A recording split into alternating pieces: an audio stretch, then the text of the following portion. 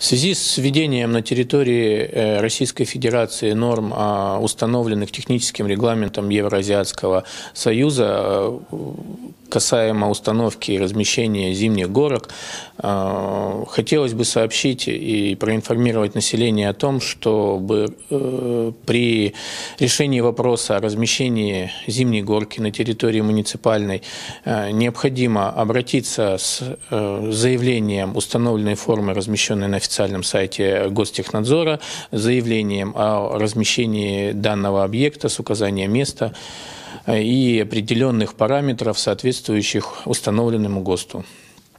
Случае невыполнения данных требований э, информация будет э, собираться и направляться для принятия процессуального решения Гостехнадзором.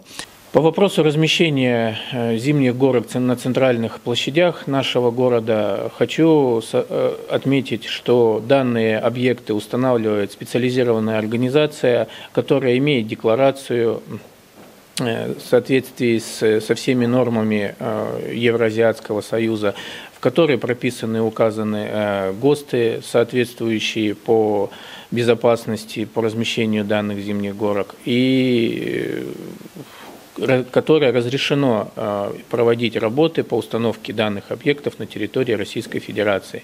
Поэтому э, данные э, сооружения устанавливаются законно.